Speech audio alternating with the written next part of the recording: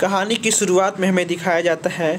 पहले पार्ट में जिस ट्रेन से एसेन और उसका फैमिली कहीं जा रहे होते हैं, उस ट्रेन में वो इंस्पेक्टर भी होता है जो उसके बारे में छानबीन कर रहा होता है। वो वहाँ पे उसके बच्चे को किडनैप हुए देखता है, जिसको किडनैपर कहीं उठा के ले जा रहा होता है। बीच पे एसेन और उसकी वाइफ अपने खोए हुए बच्चे को खोज रहे हैं कि उसका बच्चा कहाँ गया और वो इंस्पेक्टर इन सबको वहीं से देख रहा होता है।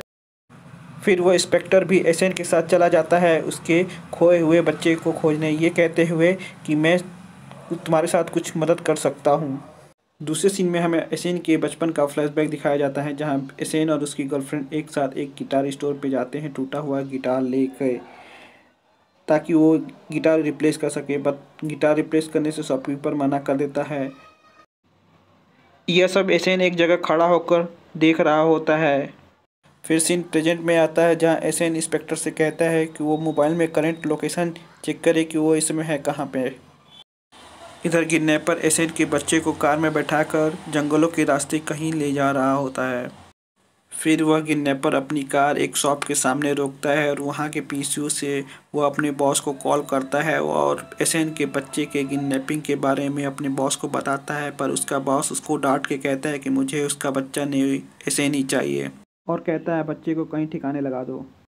कुछ देर बाद एसेन और वो इंस्पेक्टर भी उसी शॉप पे आते हैं जहाँ से वो इंस्पेक्टर अपने साथियों को कॉल करता है और एसेन के बारे में बताता है जैसे वो पकड़ा जा सके।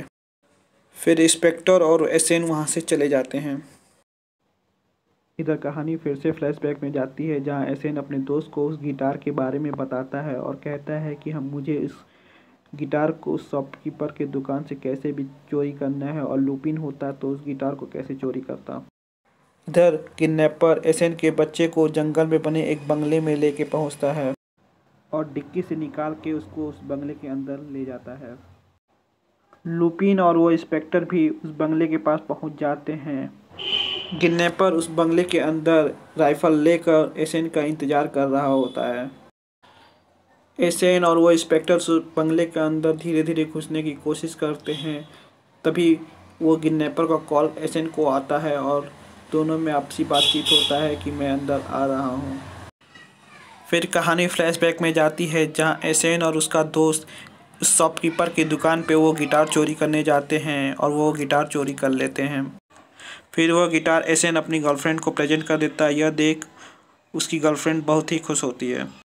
फिर उस बंगले के अंदर का सीन दिखाया जाता है, जहाँ एसेन और वो किडनैपर के बीच में लड़ाई होती है और एसेन लड़ाई में उस किडनैपर को बिल्डिंग से बाहर गिरा देता है। फिर दिखाया जाता है कि वह किडनैपर उठ के एक डीजल से भरा केन उठाता है और जिसमें उसके बच्चे को किडनैप करके डिक्की में रखा हुआ है, उस गाड़ी को आग लगा देता है। फिर कहानी फ्लैशबैक में जाती है और दिखाया जाता है कि जो गिटार एसन ने अपनी गर्लफ्रेंड को प्रेजेंट में दिया था, उसी गिटार से वो एक कंसर्ट में गाना गा रही है और वहाँ उस गिटार का शॉपकीपर कुछ पुलिस वालों को लेके पहुँच जाता है। फिर वो पुलिस वाले एसन को गिटार चोरी के जुर्म में उसे पकड़ लेते हैं। इधर प्रेजेंट में दिखाया जाता है कि नेपर ने जिस कार को जलाया था उसके सामने एसन बैठ के रो रहा होता है क्योंकि उस कार में उसका बच्चा भी जल गया था। तभी पुलिस आके एसन को पकड़ लेती है क्योंकि उस इंस्पेक्टर ने कॉल करके अपने साथियों को बुला लिया था। और यहीं ये एपिसोड ख़त्म हो जाता है।